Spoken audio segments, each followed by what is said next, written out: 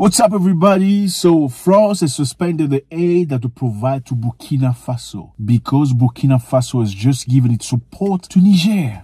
Crazy, eh? First of all, let me say welcome back. Thank you very much for stopping by. I appreciate you. It's such a great moment once more. Thank you so much. Uh, I salute you, South Africans. I salute you, Kenyans. I salute Tanzanians, Ghanaians. I salute you, Nigerians. Thank you very much for stopping by. Thank you, Zambia, Zimbabwe. Thank you, Namibia, Malawi, Sudan, Angola. I see you from all over the place. The United States of America, our brothers over there. I salute everybody in Jamaica. I salute everybody in the Caribbean, in the UK. Thank you so much. Okay, so first of all, I appreciate you. Let's all do this. You know the seas. Thank you. It's done. Thank you very much. And if this is your first time, feel free to subscribe. I'm sure you're going to love it. We love you already. Okay. So we are talking here about Burkina Faso.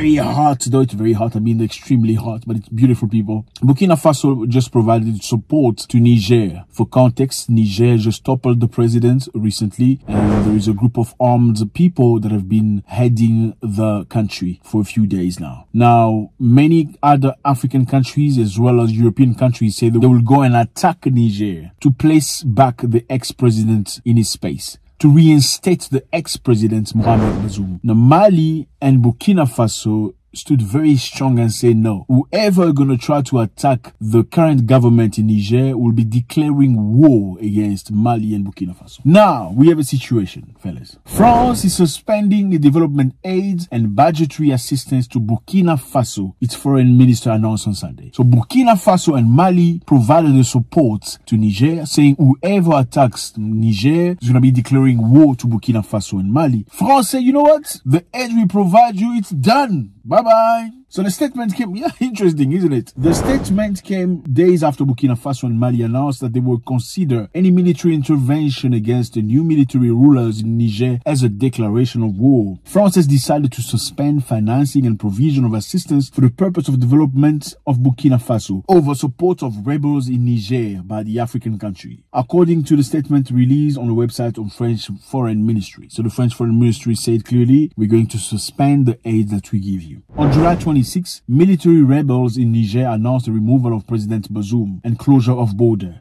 Okay, so they said, hey, we're gonna close our borders. Nobody's coming in, nobody's going out. You know what happened in Niger after they say we're closing our borders? A French military aeroplane landed at night. Let me say this again. The Nigerians said we are closing our borders. May nobody come in and nobody leaves the country. A French aircraft, military aircraft, still landed at night in defiance. So obviously the new people took power because they feel like the ex-president, President Bazoum was not working according to Africans. He was not working for the benefits of African people, but was working for foreign benefits. And that's the reason why they felt we don't need this guy anymore. The ex-president also expressed himself saying that the rebels are the terrorists in the country because the country Niger is rebelled by terrorism. The terrorists are stronger than our army. Nobody with his right sense of mind would say such thing, especially a leader. A leader cannot say our opponent is stronger than us. Even when you know they are, you don't say that to your troops. That just shows weakness in the mind of a leader. That's going to discourage the people. And that's one of the main reasons why, addition to many other reasons, poverty, misery, lack of confidence, lack of food, and many other things, the Nigerian people were angry and decided to remove him of power. ECOWAS, which is the economic community of West African states composed of 15 states, 15 countries, they came together saying we are against this. We don't want this new military government. They gave them an ultimatum saying within seven days, we want you out of the power and we want you to reinstate President Bazoum. Failure to do so will be coming to your country to destroy everything. Now, because the new president, Tchiani, is supported by the people of Niger, the people of Niger have been ready to fight whoever's going to come in the country. So on the 31st, government of Burkina Faso and Mali expressed solidarity for the people of Niger, warning that both countries will consider any military intervention in Niger as a declaration of war. So this is what we lack in Africa. Solidarity. People turning strong, coming together in the name of righteousness. Because most of the time it's when somebody stands strong against the evil. There's always somebody in the next corner who's going to try make him fall. There's always somebody in the dark that's going to sell him out. Unfortunately, that's the history of Africa. You're looking at Thomas Sankara, same thing. Lumumba, same thing. Magufuli, same thing. Now, this young generation of people that are truly working hard for Africans unlike the previous generation where most African presidents just work for their stomach and they try and enrich their families. So basically this is how it functions, okay? Most of the people are suffering. If you are part of the government and you're getting to eat something, you get some money, you can buy a car, you got a house and stuff, you're fine. You stop fighting. You don't fight the government because you are fed. But everybody else, that's none of your business. You don't care about that. They can suffer as much as they want. They can cry as long as you are provided for. That's cool. And unfortunately, even opposition parties, you can sometimes find some very intelligent people trying to fight for the right things until they give them a bag full of dollars. Then they change completely.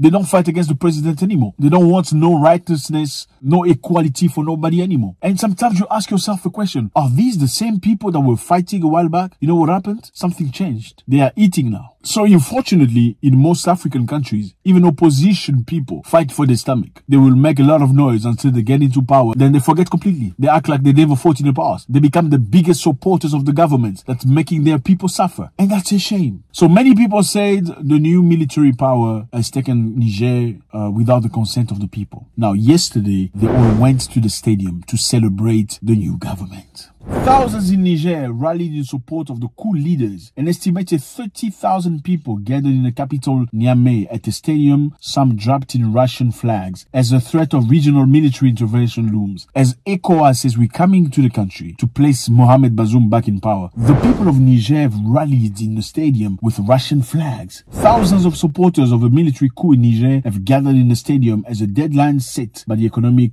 Community of West African States, ECOWAS, to return deposed President Mohamed Bazoum to power is set to expire. So the deadline is expired. A delegation of members of the now ruling National Council for the Safety Guard of Homeland, CNSP, arrived at the 30,000 seat stadium in capital Niamey on Sunday to cheers from supporters, many of whom carried Russian flags and portray of military leaders. So people are happy. You know, I think sometimes you need to let the people choose their own leaders. And you can clearly see these people are not confused. They know exactly what they want. They did not want Bazoum in power. So again, France has cut aid to Burkina Faso. The aid amount apparently to 482 million euros. That's the budget that was programmed for Burkina Faso. They have cut it. Okay, no more aid for you. You guys are too clever. You don't want us in your country. Things are not working in our side, so we don't we're not going to play. So the bottom line is this. Burkina Faso asked French military to leave. This has happened to Burkina Faso too. Burkina Faso also asked French military to leave because they were not doing anything. That was in January this year. But France did not cut the aid at the time. They kept the aid. The military left, but they kept the aid. Now they've cut the aid. Why? Because they left the aid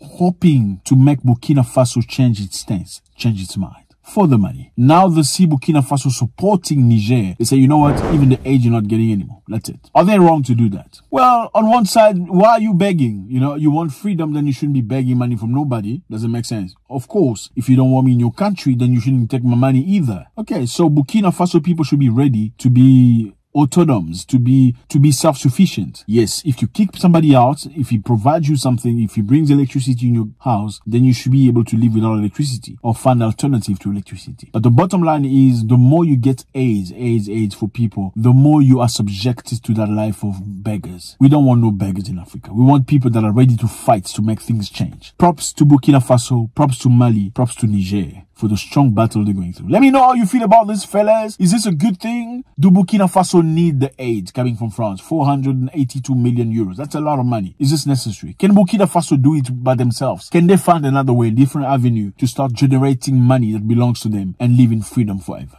Don't go without leaving your comment. Thank you very much. God bless. Your comment. Bye.